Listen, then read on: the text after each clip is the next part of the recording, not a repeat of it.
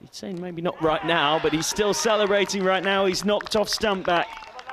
Well, his hair might be a mess, but the stumps are a mess now. 64 for seven. That's a good shot from Whiteman, but not good enough.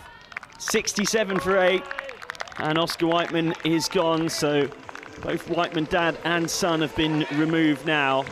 Luxembourg in real danger of getting bowled out here. They are 67 for eight. Down the ground, and caught again.